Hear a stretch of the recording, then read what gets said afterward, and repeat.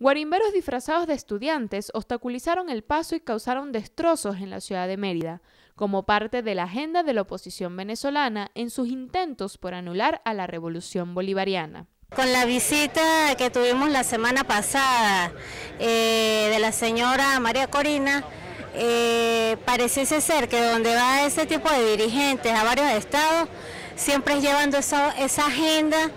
esa agenda para que eh, haya ese tipo de fechorías, porque son fechorías. Aquí no están peleando eh, o no están pidiendo cosas justas, salieron fue a saquear, a destruir. No es casual y además no creo verdaderamente que venga enfilando las causas que ellos han hecho públicas, particularmente cuando hubo la primera concentración Causalmente, después de que se fue María Corina Machado, su reciente visita, este, nos enteramos de que habían desaparecido todos los cubiertos del comedor universitario, cosa que de la que se sabe hace más o menos unos dos o tres meses.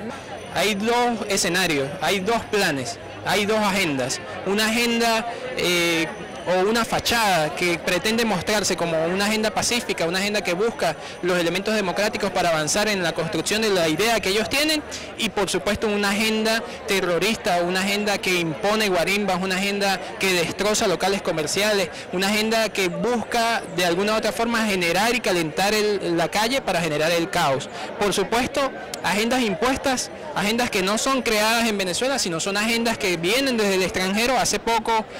eh, eh, la población venezolana pudo conocer ese documento llamado Operación Freedom 2, donde detalla de manera específica cuáles son las acciones que se deben tomar, cómo se asume el decreto de Obama, donde dice que Venezuela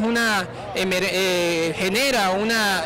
una amenaza inusual y extraordinaria a sus intereses y avanzando en función de ese decreto, cómo ellos generan todas las matrices de opinión para solicitar una intervención eh, extranjera.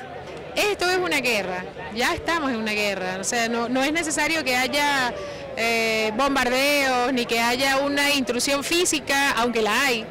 de, de gente de otros países para que haya una intervención. Aquí hay una guerra y una guerra de aguante. Nosotros lo que tenemos que hacer es mantenernos firmes en nuestra posición y entender que el que aguante más es el que gana. En un momento donde el gobierno venezolano está presionado para radicalizar junto al pueblo o pactar con agentes ocultos de la derecha, nos queda mucho por defender. Está en juego la patria, está en juego, eh, digamos, nuestra posibilidad de ser independientes, que es lo que hemos logrado a través del, del gobierno de Hugo Chávez generar una verdadera independencia venezolana.